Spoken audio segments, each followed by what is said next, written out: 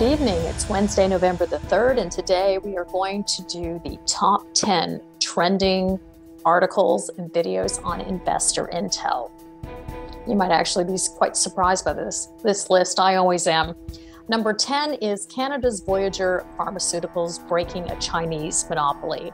This is an interview with Jack Lifton. He interviews the CEO of Voyageur Pharmaceuticals, Brent Willis. This company is doing a full supply chain for barium. Very interesting topic. I'm sure you'll enjoy it. For number nine, we have U.S. nuclear power generation at historical heights as investors buy uranium. This is written by Matt, Matthew Bohlsen from Australia, and he's highlighting some of the big movers in the uranium market as we speak.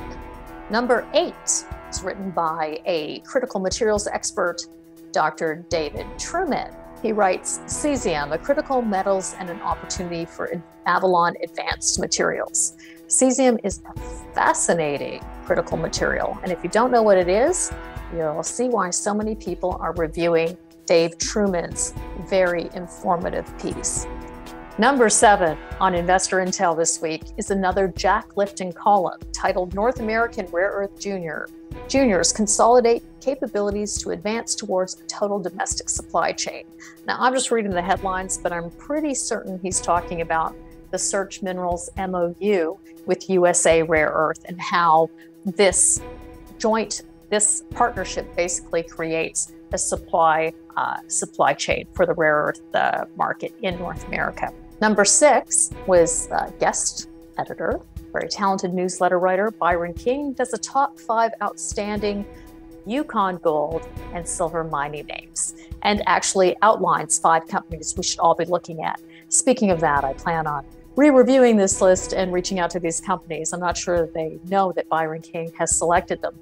Number five, most read, was written by yours truly. This one was titled China Pays Full Value for Neo Lithium. Here Comes the Bull Market.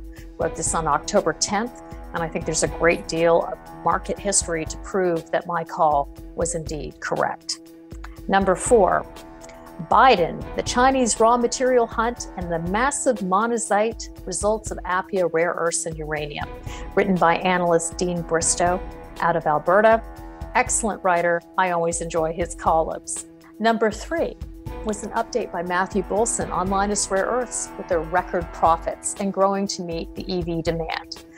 Number two, also by Matthew Bohlsen, Australian government extends a 2 billion loan facility for the critical materials industry.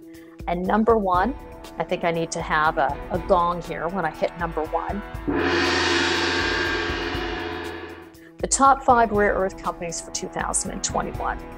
This is definitely a must read, or at least it appears to be from our trending. We have 39 comments. It was written by Frederick Kozak, who's now the president of Appia Energy, rare, or Appia Rare Earths and Uranium. They have changed their name, and uh, this has been trending number one since it was published January 8th. Thank you so much for joining us this week.